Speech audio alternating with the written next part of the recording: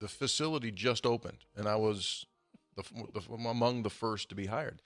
And so they didn't give us a good explanation of how to use the audio system. So we just maxed the thing out. I mean, everything was just full up, right? And we blowed up the speakers, the the uh, you know the the uh, cardboard or the uh, paper that's inside of a speaker, you know, around the speaker. Yeah, yeah. Crushed Shredded it shredded it. Not good. At on that, the new system. at that time, another one bites the dust by Queen was big, and Yeah, that big. bass, Big. Yeah. Yeah. Oh yeah. yeah. So we blowed it all up. They had to put new ones in.